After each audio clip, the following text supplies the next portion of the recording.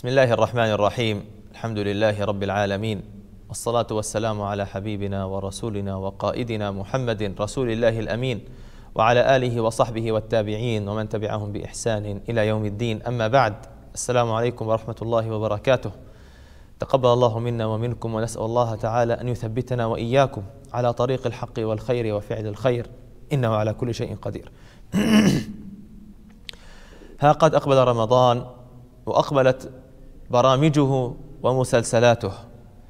وإن من اللافت في هذا الشهر الكريم انتشار وكثرة برامج المسابقات والفوازير.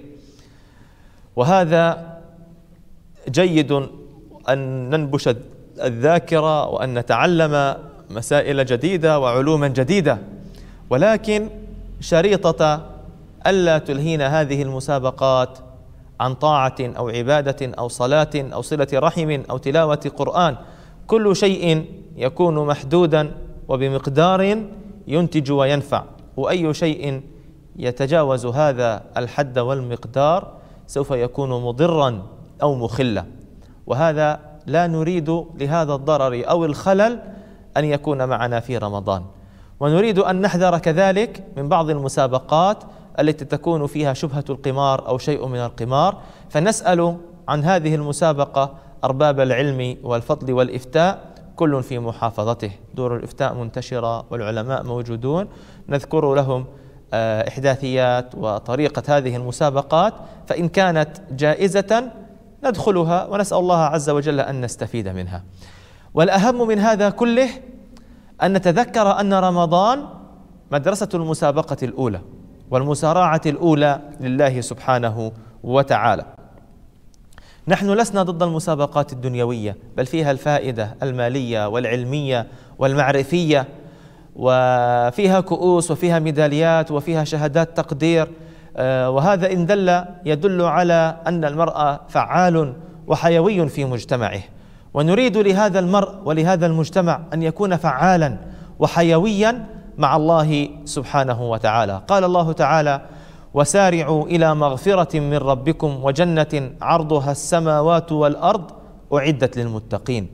هنا المسابقة وهنا المسارعة التي لا يجوز لنا أن نتوانى عنها أو نتأخر عنها. لو فاتنا برنامج أو مسلسل أو كلمات متقاطعة أو شيء من هالقبيل فإنه لم يفتنا إلا شيء من الدنيا. أما أن يفوتنا شيء أخروي عظيم وفي موسمه الأول في هذا العام فهذا والله خسارة عظيمة بين يدي الله سبحانه وتعالى لا تعوض. أيام رمضان تأتي متسارعة وتطوى وكذلك أيام العمر. انظر إلى نفسك كنت في العشرين ثم أصبحت في الثلاثين ثم قطعت الخامسة والأربعين. كان أبناؤك أطفالا صغارا على يديك تحملهم واليوم قد كبروا وتزوجوا.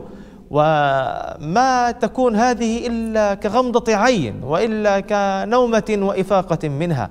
فلا نريد أن نلتهي في مسابقات التلفاز وأن نضيع على أنفسنا مسابقة الجنة المسابقة إلى الجنة وإلى الله سبحانه وتعالى. هذه المسابقة التي تنجينا والتي فيها الفوز قال الله تعالى أصحاب الجنة هم الفائزون. لو أنزلنا هذا القرآن على جبل لرأيته خاشعا متصدعا من خشية الله. من قرأ هذه الآيات فإنها تقرعه وتزجره عن الالتهاء عنها وتهديه إلى أن يسابق ويسارع وأن يفوز في جنة فردوسها الأعلى.